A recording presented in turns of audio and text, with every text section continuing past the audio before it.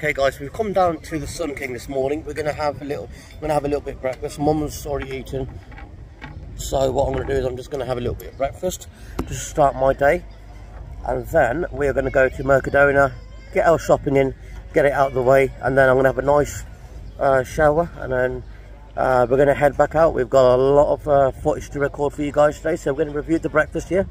Let's have a look at the menu.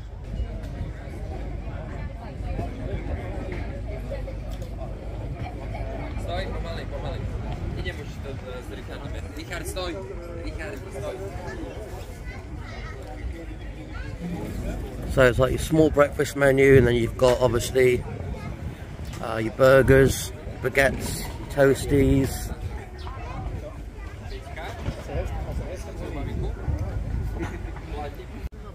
And as early as it is at the Sun King, if you're going to have a breakfast, it'd be rude not to have yourself a beer as well.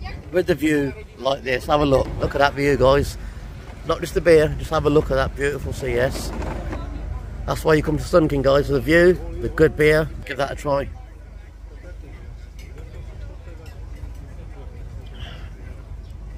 Just as cold as my ex-girlfriend's heart. That's good. Hey guys, here's the breakfast at the Sun King. Two eggs, bit of Danish bacon, I believe that is. Some beans, toast, ice cold beer. So the breakfast was three ninety five. The pint was one uh, one fifty, and a nice plate of chips, which I don't remember how much that cost, but probably won't be that much. These chips are beautiful, though. Just look at these chips, guys. Absolutely beautiful. Mm.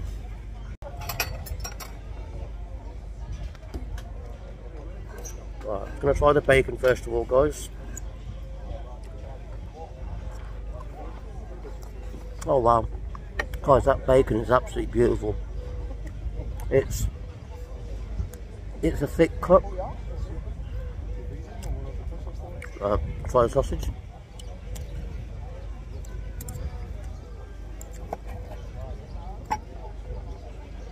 Nice amount of meat on there.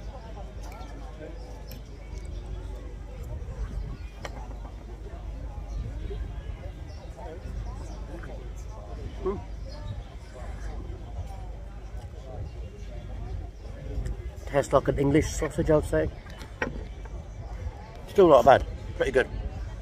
The eggs are done perfect. The eggs are an absolute 10. So, yeah, not bad. Mm. Perfect amount of yolk. In fact, let's do the egg test.